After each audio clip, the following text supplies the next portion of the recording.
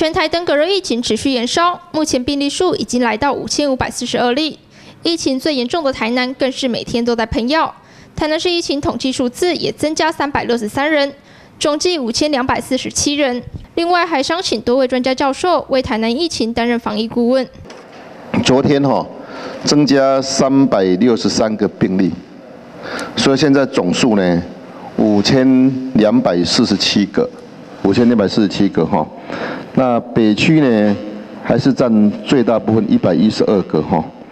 那安南区十五个哈，安南区看到有趋缓的现象。那中西区七十六个，永康十八个，那南区呢八十个，东区四十六个，安平区五个了哈。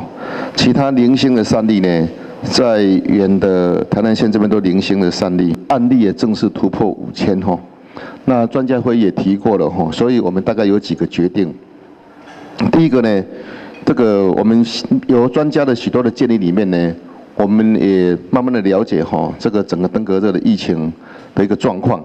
那我们呢要增加几个人员，第一个是我们聘请苏玉仁教授哈，来当我们的总顾问，总顾问哈。卫生局长林胜哲表示，一直以来台南市政府都秉持最高标准进行防疫工作，实施喷药一定会有它的效果，因此在喷药时还要进行自清工作。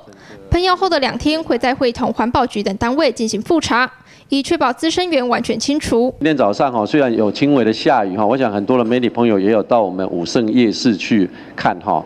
那很多人对喷药当然有很多建议了哈。那我们第一个哈，我们每组喷药哦，像我们今天早上有十六组人，那每一个组喷要有四个人。那这四个人，第一个包括我们卫生局的这个所谓的领喷，好，就这个要怎么去喷。啊，这怎么去处理？那怎么后退的路线等等？那第二个呢，是我们要做知青，好，因为在顶喷以前，我们要了解一下它有没有一些支撑源。那大家知道说，登革热防治本来就是支撑源清除为主，啊，这个消灭蚊子做化学防治为辅。为什么？因为蚊子本身的寿命就是二十一天到二十八天。